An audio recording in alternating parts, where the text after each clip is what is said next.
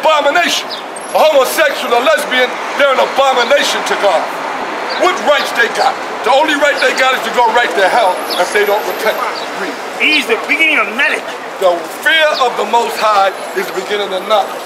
Um, give me um, Luke 177. I'm going to finish it I got this one, right?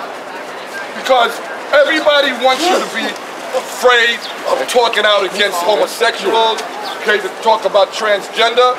Why you think God had Sodom and Gomorrah destroy you all that filth? and it's coming back.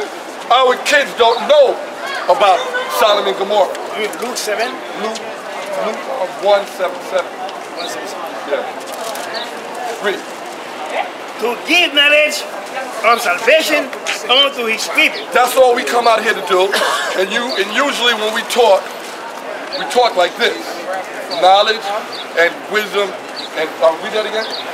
To give knowledge of salvation unto his people. There's no salvation in this. There's no salvation in this. So we come out to give knowledge and salvation, guess what?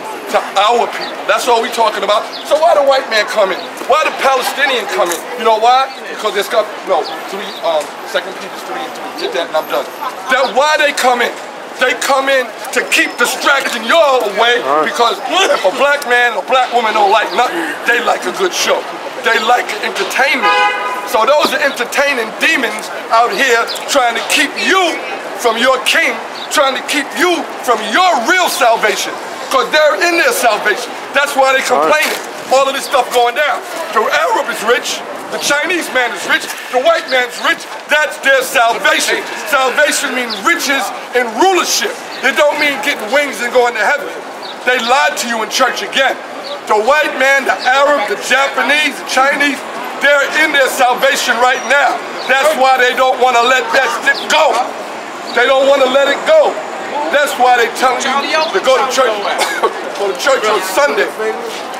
Read that. Philippians 3 verse 3. You're killing me. Knowing this first, that there shall come in the last days scoffers. Knowing this first, that they're going to come in the last days, scoffers. You know what a scoffer is? Read. Walking after their own lust. Walking after their own lust. This idiot on the ground talking about he like black men. He talking about he Jewish when the Jews are really black. Those are scoffers. Those are scoffers because that's when they make our voice change. We go up to meet that wickedness because I'm talking to you in a classroom. This is a classroom. So we talk this way when we reason together. The devil comes in, it gets out of control. And everybody, everybody wants to say, oh, the Bible is this, the Bible's done away, the Bible, there's no laws. Guess what? How, if you think you're going to heaven, how you going to get judged? You're going to get judged on what? Your heart? Remember the scripture, Mike, get it real quick, that's my last. The scriptures on the heart is desperately wicked. Our heart is desperately wicked. All the time. So if you don't follow the law, so when your pastor tell you to follow the Lord's stat, don't you don't got to follow the Lord's statutes and commandments. He's giving you a death sentence, and you pay for that death sentence.